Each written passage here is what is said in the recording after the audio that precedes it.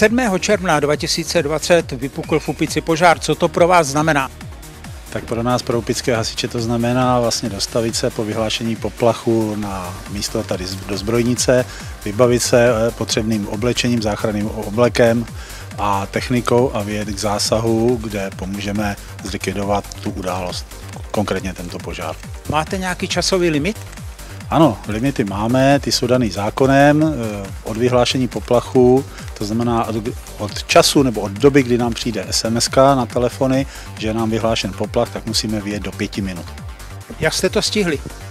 Stíháme to tradičně dobře, eh, většinou to stíháme i v kratším limitu, zhruba průměrný čas do výjezdu o vyhlášení poplachu máme asi 3,5 minuty, takže teďka jsme to stíhali a na místě jsme byli na místě toho požáru od zavolání na tísňovou linku za 6 minut. O jaký požár se jednalo? Jednalo se o požár kůlen za mezi rodinnými domy, mezi ulicí Vančurova a Maxima Gorkého, tady u splavu u řeky. Co hořelo a bylo nějaké nebezpečí? Tak, hořely tam kůlny, které byly v bezprostřední blízkosti rodinných domů a ostatních objektů a hořelo rozšíření toho požáru na tyto okolní objekty, protože už nám zavládlo suché počasí. V těch kůlnách, které hořely, vlastně bylo uskladněný hořlavý materiál ve větším množství. Komplikovaný byl přístup těm objektům, protože z ulice Maxima Gorkého jsme museli takovým průjezdem za ten velký dům, kde právě hořely ty kůlny a druhá přístupová cesta byla právě od sídliště z ulice Vančurova. Jaké médium jste používali pro hašení tohoto požáru? K hašení požáru používáme standardně vodu, pokud dochází k požárům lesu nebo nějakého takového jiného materiálu, třeba požáru pneumatik, používáme k té vodě i smáčedlo. Tu vodu si bereme z vlastních zdrojů, to znamená z hasičských cisteren, které přijdou na místo zásahu a pokud je ten požár velkého rozsahu, tak používáme i okolní zdroje, buď je to z hydrantu, anebo konkrétně u tohoto požáru jsme brali vodu z řeky plovoucím čerpadlem. Hrozilo nějaké nebezpečí?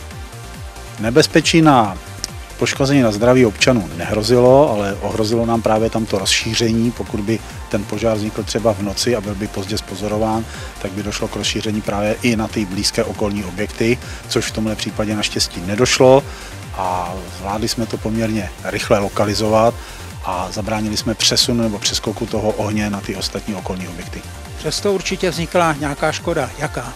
Tak škoda vznikla, škoda odhadovaná vyšetřovatelem příčin požáru byla odhadována na 250 tisíc korun a uchráněné hodnoty vyčíslil asi na půl milionu korun. Kolik hasičských sborů se zúčastnilo zásahu?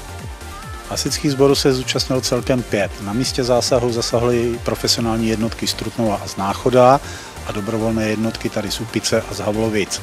Ta pátá jednotka dobrovolná, ta byla Strutnová z Horního starého města, která držela pohotovost na vlastní stanici, protože vlastně jednotka profesionální vyjela k nám do Upice na hasební zásah a někdo musí pokrývat i tu lokalitu toho Trutnova. Nehovořili jsme o tom, kdo byl první u požáru. U požáru jsme byli samozřejmě my, první z Upice, protože to máme nejblíže. V zápětí nás dojela jednotka z Havlovic a zhruba asi po dvou, třech minutách dojela na místo jednotka z Trutnova a z toho náchoda. Děkuji za rozhovor a se vám daří vždy dojet jako první pro televizi S Jaroslav Jebousek.